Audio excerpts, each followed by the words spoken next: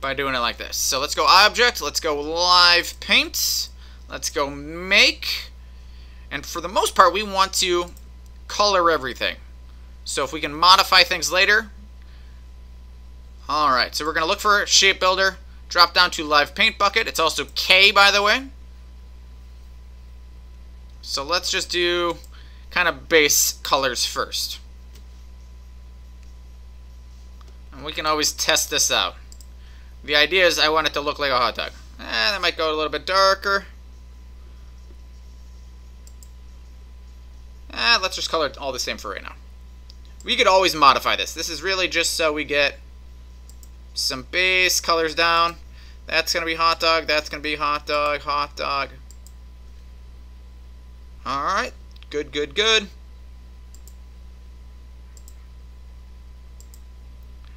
Black, black, black. Alright, let's do some bun color.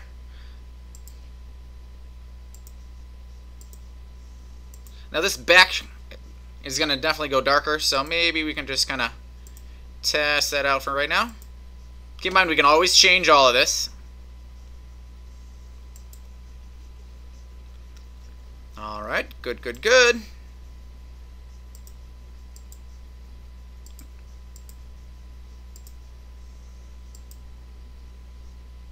And I can color and change the uh, things back at this point too.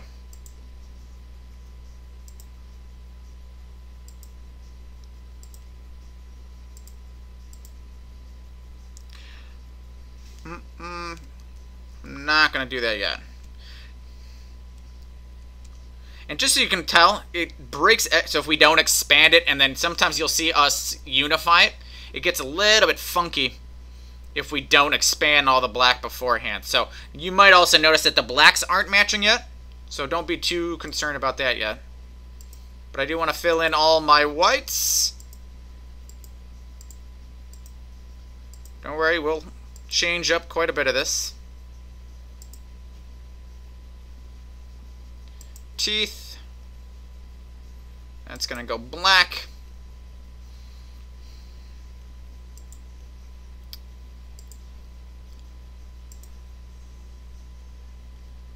Probably modify that a little bit. Uh, uh, uh, uh. All right, boogie check.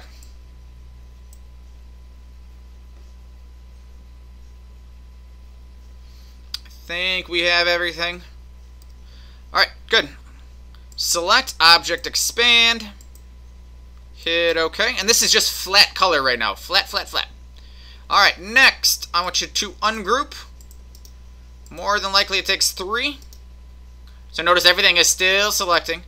So I want to be able to select each one of those. Alright, so I want to grab all of the black. Now I want to unite everything.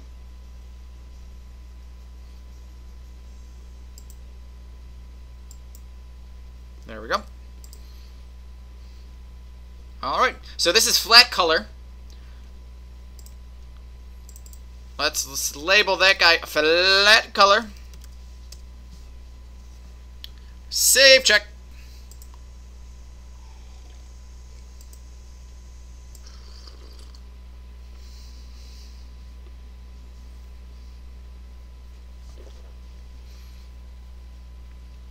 Alright, so this is the flat color layer. So what we want to do is basically pretty much leave this one alone. I do want to duplicate it. And then let's just kind of lock it out for now. So the first thing that we want to do is I want to establish any of our drop shadows. So if you think that you want some kind of just basic ones, I think this is kind of a good little way of doing it. Now some of it is, hey, I just want to change the shape. So since we colored everything white, I can come in and basically change some things up if I just want to come in and do some solids. So that is a very, very easy fix. So if I ever said, hey, I don't like this pink, since I did color it in, I can come in and modify those colors. So that is a very, very easy thing to do because I already have all those shapes built. Now the other little thing we are going to do is I want to use my handy dandy little knife tool, and I'll just pull that out so you guys can see. And what this is going to do is if, I want to break shapes down, so this is kind of instead of using the Pathfinder and building up shapes and things like that, so I think this is kind of a, a good solution for a lot of you, and I think it's pretty quick. Now, be aware that the flat color underneath is going to prevent see, some funky little wispy lines. So if you ever have those kind of popping through, just be aware that I have your flat color layer underneath. So if I, I'll do a couple, just so you can see what I mean by that. Alright, so let's do the face first. Let's zoom in. I might modify some of this in a little bit, or a little bit later. But just so you can see how the knife tool works. So let's just say I want kind of the, the back part of the tongue here, and then underneath to have a different color. So I'm going to come in.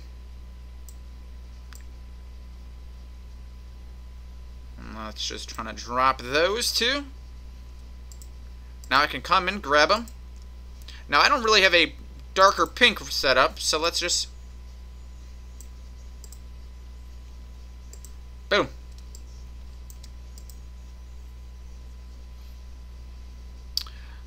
And I might modify the, the shadow for this as well. Let's go knife tool. I just want to go right on the back. So things just to notice, or the habits with the, the knife tool, notice that I select the shape I want to cut, and then notice I'm kind of doing a big, long, smooth. So the smoother it is, the less you'll have to use your the Pathfinder and build shapes for it.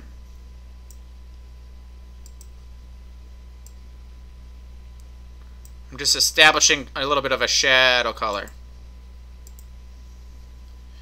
Good. Alright, so let's zoom in.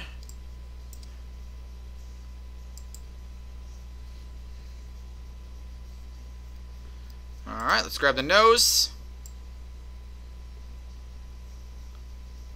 Let's go right here. Notice I'm kind of hanging out. I'm going to grab the face now. Knife, and I just want to kind of drop that kind of straight down. Let's just test it out. So what I want to... This, notice this little shape under the nose? Since I think that's kind of on the same plane. Alright, looking good. Let's select down here. File save. I think that's a pretty good little wiener. so this is Jason Secrest. We do a bunch of Illustrator tutorials. We're also going to be adding on some how to draw cartoons as well as some whiteboard animation playlists coming up this school year. Uh, so definitely, if you like them, definitely comment. I definitely read those. Thank you for always staying positive. Uh, and number two, make sure you guys are subscribing. So uh, definitely do that. Check out jasonsecrest.com for all of the resource materials. And uh, I have them all in a folder for you, so they're all easy to access, so you don't have to download a thousand different things, and we're uh, just going to be sharing them that way. So I think that would be a lot easier for you guys to do. And then uh, we'll go from there. Uh, other little things, we are good to go.